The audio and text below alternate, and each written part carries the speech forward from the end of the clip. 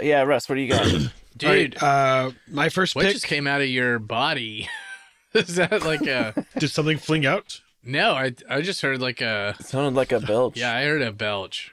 Oh, it wasn't about no. So it was probably sorry, it's a cough. Um, we just found out uh, as we started this. I told Dave earlier I'm not feeling well. That uh, that I'm doing this on the flu right now. So Oh. Yeah. flu guy. so my brain's a little foggy, and uh, yeah, things might be coming out of my body. Sorry. So, listener, we are we are Hot. social That I'm doing distancing over the the flu right internet as we record. So, do not fear for our lives. As Yeah, I like watching other people have the flu, but they're not in the same room as me. That's actually one of my um it's it's like a fetish that I have. I have a room. you find the ones where people are just sickly on there, and yeah, just a bunch of people hacking with the flu and uh I have a little little channel.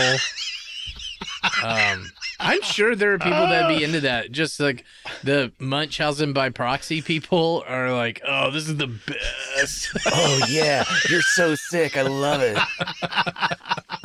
This is so hot. I feel like such a good mom. I would take such good care of you. I would take so good care of these sick babies. So, anyways, patient zero, what do All you right. got for us today?